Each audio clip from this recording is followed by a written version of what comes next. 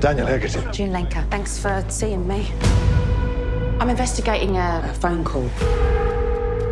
Police? Listen, he's gonna kill me. How can I help? They made an allegation. It was an old case that you'd worked. A long time ago, my boyfriend, he stabbed her. You are aware that he confessed. What if he's innocent? That case was investigated fairly. We got our man. No, you got a confession.